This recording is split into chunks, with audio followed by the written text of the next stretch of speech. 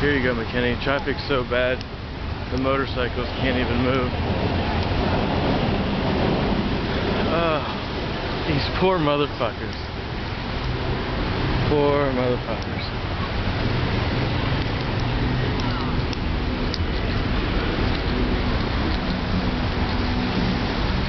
Motorcycles can't move.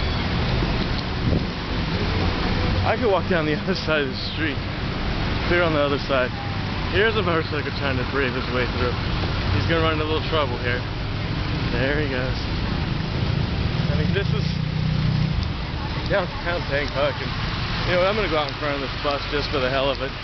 That was kind of dangerous. Ooh, that didn't sound good. I'm running now. Woo. That was unwise to say the absolute very least. Dum dums.